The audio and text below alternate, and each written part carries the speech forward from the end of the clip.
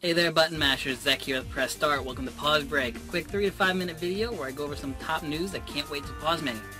Pretty much what I got going on today is the big story going around is that Watch Dogs and the crew from Ubisoft are being pushed back from the first quarter until spring of 2014.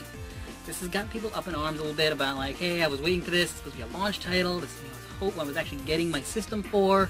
I even read a tweet, uh, a comment from somebody actually stating that they're going to switch to Xbox One because of the launch titles now. It's like, you're going to switch your console choice because of a launch title. Were you really that set on PS4, Xbox One because of that? Why not just get the Xbox One with Watch Dogs then?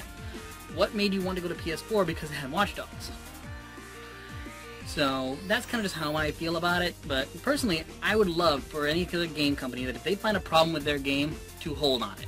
Uh, especially with the major developers like Ubisoft, Square Enix, uh, Game Freak, for example, because of their most recent game, Pokemon, is getting into the news again because of a game-killing glitch. That when you save in a certain town, uh, I'm not going to give any spoilers and stuff, but when you go into this certain town you save, it can actually lock up the game, so you have to shut it off mid-save, which of course corrupts your file, and you lose everything. So all those Pokemon you caught, you gotta do it all over again. Not a good thing, and honestly, a glitch in my mind that should have been caught by a company as well-versed as Game Freak. They have made how many Pokemon games? You would think that one of the main tests would be to save in each and every town. It's a common feature in my mind. You just traveled this road, caught some new Pokemon, leveled up. I gotta save, I'm healing my guys, let me save now so I don't lose anything.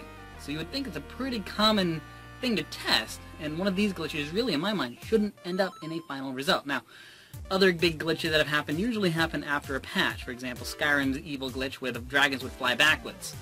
Um, that was a also a game stopping glitch for a while because you couldn't kill dragons, and that was a big aspect of Skyrim. You couldn't get certain abilities without killing dragons. So that kind of stopped for a while, but that was because of a patch. It wasn't released like that. Glitch that big shouldn't be released, and that's just kind of my feeling on it. Because um, when that happens, first off, you just bought this brand new game. You got this exciting moment. Brand new game, yay, smell of cellophane and plastic, and we're ripping it off, and we're playing the game, and all of a sudden, we can't play anymore. You have to wait for the patch.